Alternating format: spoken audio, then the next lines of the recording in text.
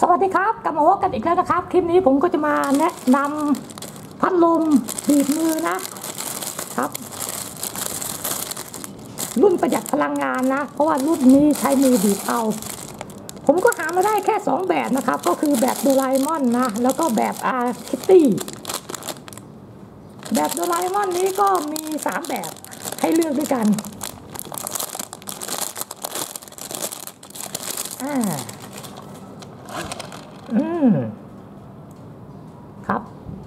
มันเป็นใบพัดนะ เวลาหมุนนี่มันจะแบบนี้แหละไงสามารถดัดได้ แต่เวลาข้อหมุนมันก็จะตั้งฉากกันนะ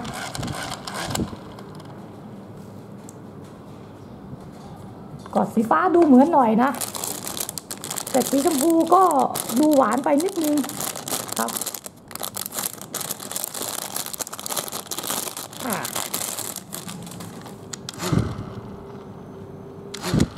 โอ้ พอเป่าใส่หน้าแล้วรู้สึกเย็นขึ้นมาเลยครับ ก็ชุดนี้ก็ต้องใช้แรงนะครับ เพราะว่าเป็นรุ่นประหยัดพลังงานคือไม่ใช้แบตเตอรี่นะอะมาดูอีกสีหนึ่งก็คือสีเหลือง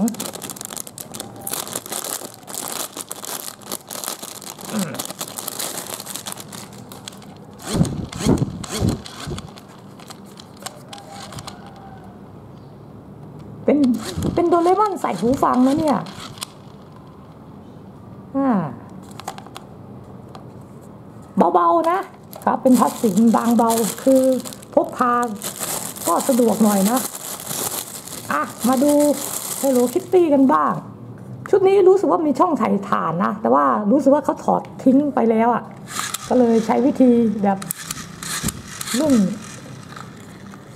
อ่าใช้แรงมากกว่า เป็นใบพัดคู่นะ แต่ความเย็นก็พอๆกับใบพัดเดียวเลยครับอะมาดูสีสุดท้ายกันบ้าง สีแดง อันนี้ดูออกคิตตี้จริงๆเลยอ่าแต่ผมติดใจตรงตรงด้านหลังนี่แหละนะ เหมือนเป็นช่องใส่ถ่านนั่นเนี่ย เออหรือว่ามันใช้ถ่านได้นะ